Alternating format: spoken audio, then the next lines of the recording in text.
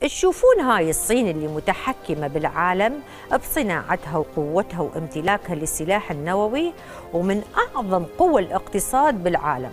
الصين قبل سبعين سنة كانت بلد يعاني من احتلالات متعددة يابانية وروسية وبريطانية وكانت ولا شيء بلد مليان مشاكل وأزمات وشعب يعاني الفشل والضياع واستطاعت البلدان المحتلة أن تجعل من شعبها متعاطي للمخدرات وشعب ما يهمه بلده نهائياً.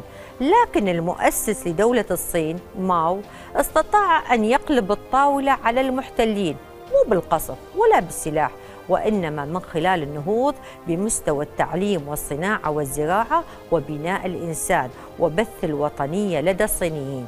وهنا الشعب عاف الإدمان وقال كلمته بوجه الاحتلال.